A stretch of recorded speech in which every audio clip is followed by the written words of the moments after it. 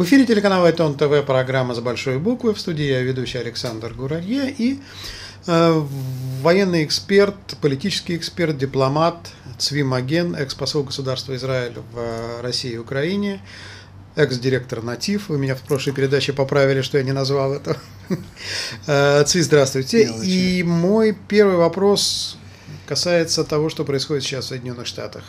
А, инициирует а, Конгресс начал э, процесс импичмента, собирается инициировать импичмент. Поводом для импичмента а, появилась, э, явилась, так сказать, информация о том, что в телефонном разговоре с президентом Зеленским Дональд Трамп попросил некую конфиденциальную информацию, а точнее накопать компромат на своего политического соперника.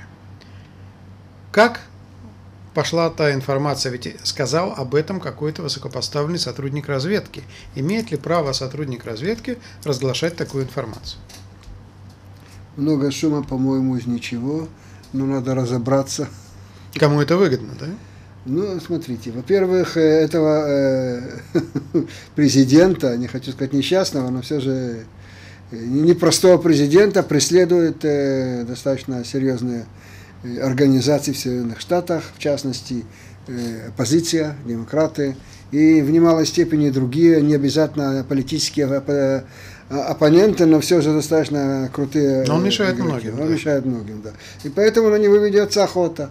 И хотят его убрать. И как и убирать президента, то если, во-первых, доказать его какие-то там юридические преступления или проблемы, например, у него, на него было несколько, завели несколько дел по вопросу, касающихся России, например, да, что он пытается в ущерб Соединенным Штатам э, разрабатывать те или иные программы совместно с Россией, по отношению к России, и до последнего времени давали ему покоя. Например, э, в этом активно участвуют европейцы тоже, которым не нравится смена политики по отношению к России, тоже. Но общий знаменатель это тоже. Это, это общий знаменатель такой, что надо убрать этого президента, поэтому все пути хороши.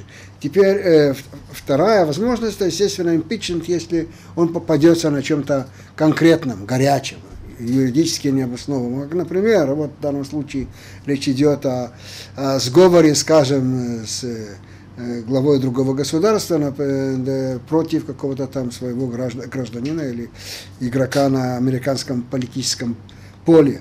И... Кстати, извините, наши украинские коллеги тут э, в социальных сетях пишут, что Украина вообще поднимается в собственных глазах. То есть да, беседа до Украины, да. Украина способствует импичменту президента.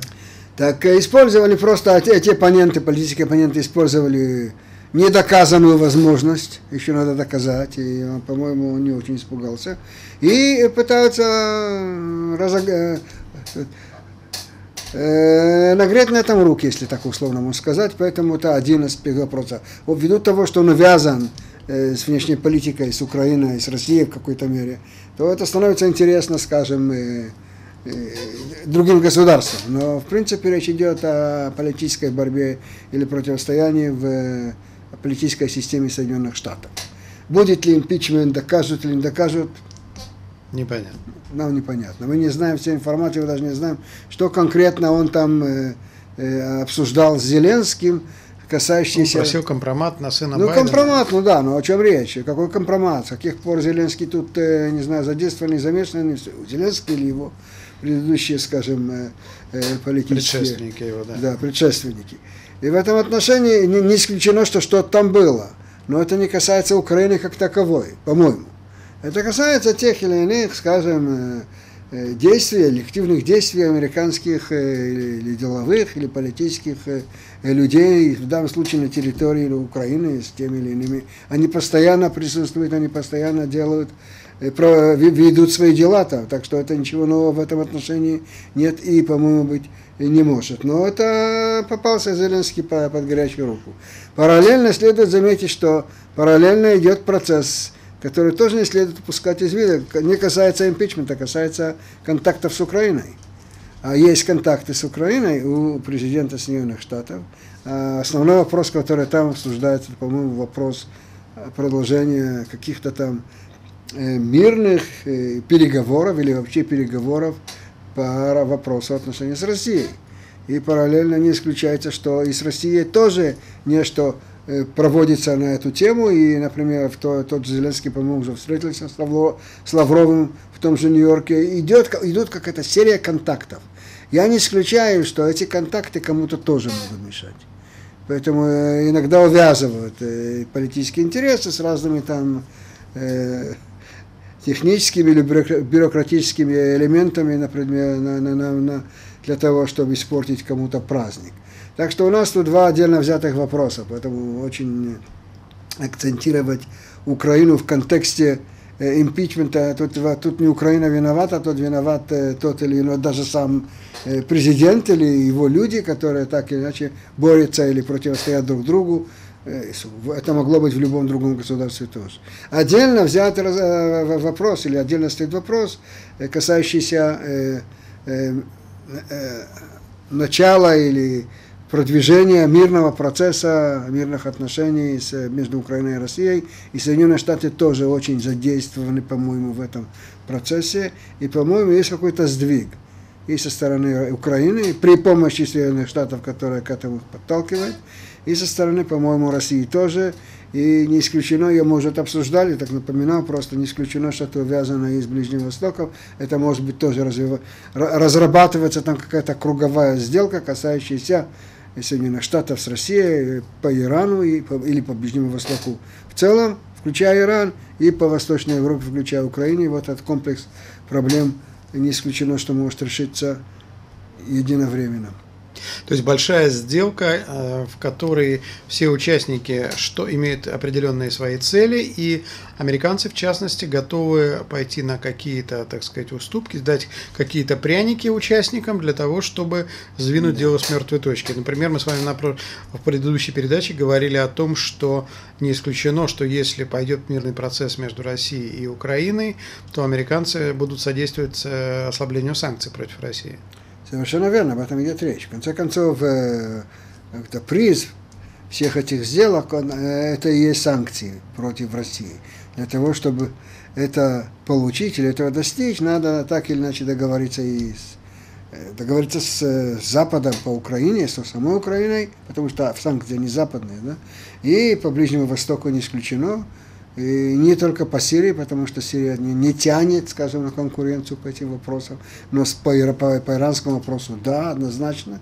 Поэтому тут не исключена большая сделка, включающая все эти аспекты. Подождем, наверное, увидим.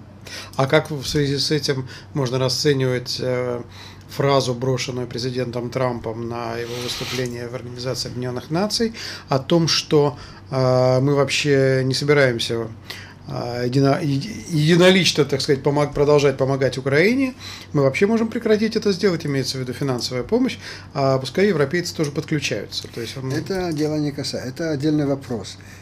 Тут есть разборки между То есть бизнес отдельно? Нет, нет, тут есть разборки между Соединенными Штатами и Украиной да, э, Украина, пардон, и Европа. Европа не занимает э, адекватных позиций в, в американских глазах. У нее свой, свой подход, свое мнение, и она более жестко относится и к противостоянию с Россией, и там, что происходит в Украине. Поэтому э, это оттуда идет, э, идет такое мнение. Он говорит, вы решаете украинский вопрос за мой счет вы там э, настаиваете на том, что Украина должна или не должна чего-то там делать, а... Оплачу-то я. Оплачиваю-то я я там посылаю, скажем, э, финансовую или военную помощь Украине, я э, нахожусь в тех или иных контактах с другими игроками на этом поле, в той, той же России, а где вы? Поэтому давайте, участвуйте, платите или помогайте. А не во всяком случае, но в основном, что имелось в виду, не мешайте. Они, они Но раз, они мешают ему они не мешают. только по Украине. Вот, да, в частности, президент мешают. Макрон заявил о том, что он выступает посредником между Ираном и Соединенными Штатами, Совершенно на что ему э, да, дядюшка Джо бросил фразу, что я не нуждаюсь ни в каких посредниках. Совершенно верно, они сами справляются. Но это, это существует, так что весь этот комплекс вопросов также увязывается. это, это смотрите, это, это, это не абы какое-то там дело, это основной клубок проблем на уровне, э, на глобальном уровне в мире. Это основное. То, что сейчас, это, если это сочетать вместе Ближний Восток и Украину, противостояние Запада с Россией и очень активным э, проявлением интереса со стороны разных там Китаев, весь этот клубок, э, это основная, основная площадка. И там идут разборки, совсем непростые разборки, еще непонятно, чем это может кончиться, а может кончиться по-разному. Ну, естественно, там есть вопросы, отдельно взятые вопросы, там э, контроля вооружений, развития вооружений, но это то, но это, это не основные пока. Основной вопрос, то как мы сейчас решаем или не решаем э, те или иные конфликты. Не проекты, а конфликты. И в этом контексте и Иран, и Украина – это конфликты, и это конфликтная зона. Цвин, но ведь Трампу необходимо сейчас, в ближайшие там, месяцы, какие-то серьезные подвижки в международной арене в первую очередь. У него на носу выборы.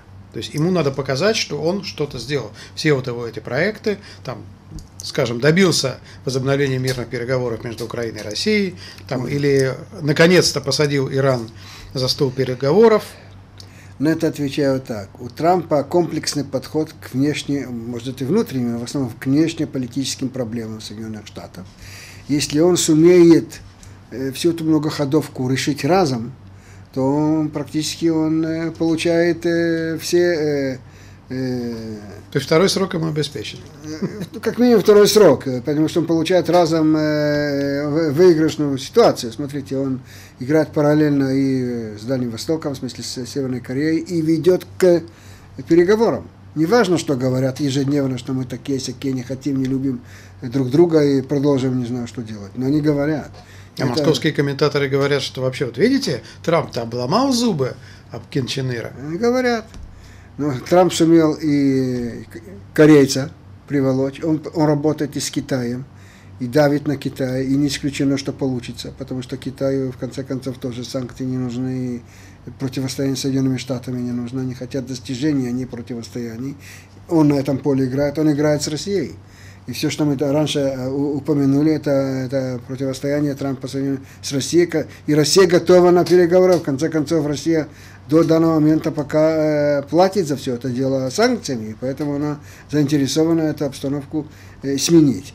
И, естественно, и Иран, Иран, э, несмотря на все теракты и там э, другие телодвижения, в конце концов, это торг за э, процесс, договор, договорной процесс. Он торгует, что там больше или меньше даст или получит. Но это, если весь этот комплекс увяжется разом, а он туда идет, потому что это все, все эти ходы увязаны, то получается, что Трамп в выигрышном э, э, состоянии, или как минимум часть из них. Или сможет доказать, что этот правильный процесс куда-то ведет. Ну, а что там будет на выборах, я, это отдельный вопрос, я ничего умного сказать пока не хочу. Спасибо, спасибо большое. Но вообще такое ощущение, что это все большой восточный базар. Такой. Все между собой торгуются, да, и при этом прикрывают свою торговлю красивыми, базар, да. красивыми фразами, красивыми, высокими, так сказать, э, фразами, высокими целями, а на самом деле обычный базар. Спасибо, спасибо, Цвимаген, спасибо. спасибо большое, с праздником вас. Праздником. Дорогие друзья, всего доброго. Программа с большой буквы прощается с вами. До свидания.